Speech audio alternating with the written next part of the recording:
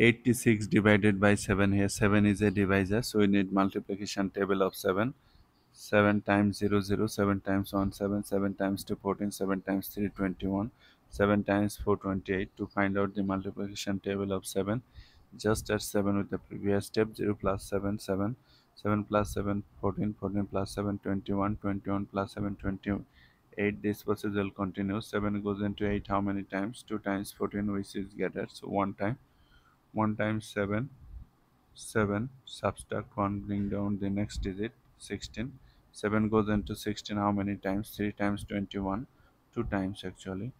2 times 7 14 if you subtract then you are getting what?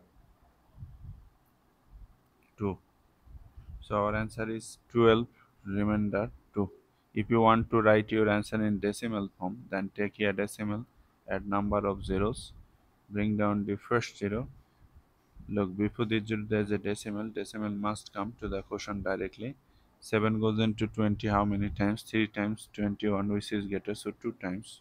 2 times 7 14 if you subtract you are getting 6 bring down another 0 now you have 60 7 goes into 60 how many times?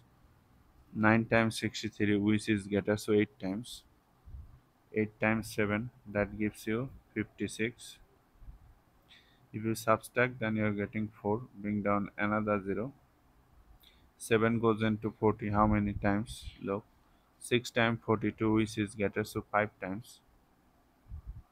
5 times 7 35 subtract you are getting 5 you can bring down more 0 but since we have gotten 3 places after decimal now place here 3 dot so our answer is 12.285 dot dot dot